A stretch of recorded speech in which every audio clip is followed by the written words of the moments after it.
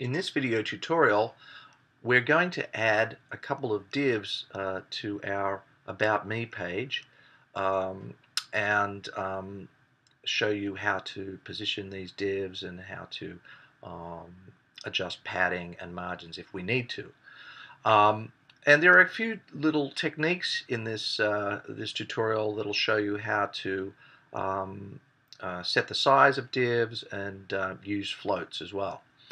So um, I want to add a, a headshot up here um, next to my name. Plus I want to add some content uh, about myself underneath uh, this set of menu items before I start going to these other pages.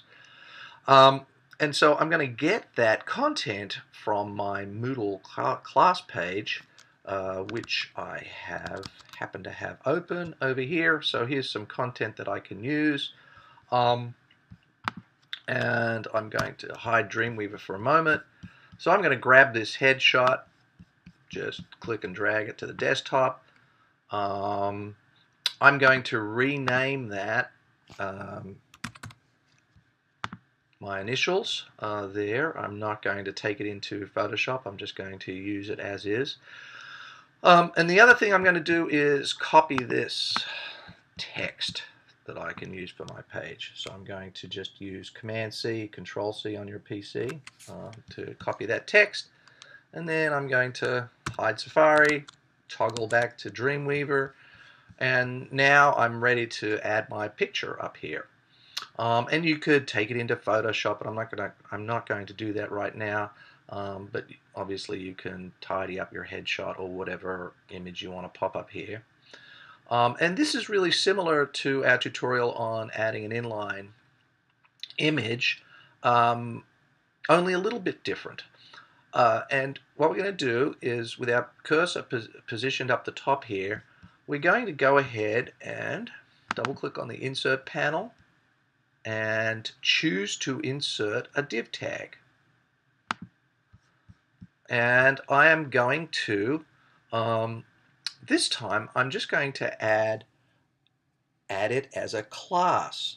And I'm going to, notice this pop-up menu up here. I'm going to say I want to add this div after the start of the tag container. So this is a little bit tricky to get the hang of. But this is going to, um, rather than trusting where the cursor is in the page, I'm going to specifically put this um, um, new div tag after the start of the container. So it's going to be inside the container um, and um, but just inside the container uh, up the top here. And I'm going to call this a class because the reason I'm going to use a class um, rule here is that um, I may use this div um, more than just once on my website. So I'm going to create uh, a, a class called image holder. Image holder and click OK. And there's the image holder div uh, up there. And I'm going to with it selected while it's still selected I'm going to click on new CSS rule to style it. And you can see it tells me that it's going to put it inside the container. Um, so it's styling it as a compound rule, and that's fine. I can leave that. I could, if I wanted to, um, get rid of that and just leave it like this. Notice that the class rule has the period in front of it. Um, or I could pop that back in there. Um, either way, it's going to work. This is contextual styling um, meaning that it's going to have a look inside the container. Um, and um, if I wanted it to just apply across the site, I could do this. And I do want it to go across the whole site, so I'm going to delete that. But if you don't do that, it's not the end of the world. Um, then I'm going to click OK. And I'm going to make it, I happen to know that my headshot is 100 by 100 pixels square. So that helps. Make sure that your the image is the right size um, for your div. So I'm going to do a 100 by 100. Um, and then I'm going to say float left. So I want this div to float to the left of the container and click apply. And you can see above there that that's what it did. It popped over, uh, looks like a postage postage stamp area uh, where I'm going to put my um, image. And then I can go ahead and put my image right in there by going to background. Uh, and I'm going to put it yeah, into the background. Uh, and so I select background category, click, click browse. Here is my image on the desktop. I choose that and then click open. So the image is on the desktop. Whoa, what's this message? Dreamweaver pops up a message saying, hey, this file's outside of your root folder um, and may not be accessible when you publish the site. Well, that's right, it won't be. That makes complete sense. If I'm uploading the root folder um, and the image isn't in there, it's not going to be much use to me. It just won't show up. So, it says, uh, would you like to copy the file there now? Yes, I do. So I click yes. Here's the name of the file. It's a PNG file and I'm going to choose my images folder. That's where I want it to go. And I'm going to click save and click apply. And now you can see my image appears up there um, in my about me page. Um, and I'm going to, um, I think that's about all I want to do. Click OK. Um, and I'm going to select the text and get rid of the text. So now I've got my um, image up here and I'm ready to add my content. Notice, however, that it's it's it's kind of pushed up against my um, H1 tag. Mm, I'm going to change that to about me. About me. That's more my style. And then, um, so if I hit return there, it might give me a little bit more room, which I, I, I kind of like the idea of doing that. Um, um, it looks a little bit better.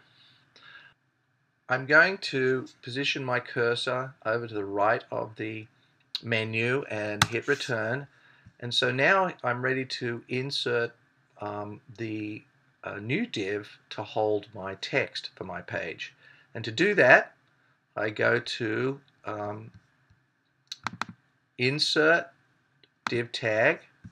And once again it's going to be a class um, rule that I'm applying here and I'm going to call it content.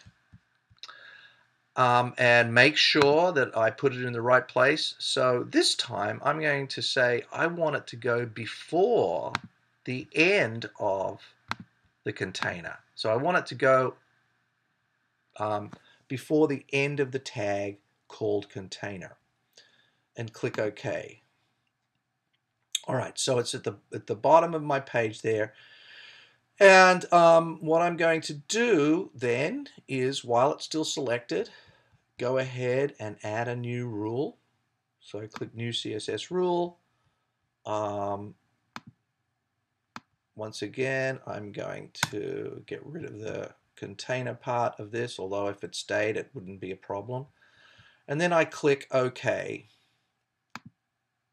And the rule I'm going to give to it is um, that I want it to, uh, if I go to box, um, I want it to have five pixels padding all around it.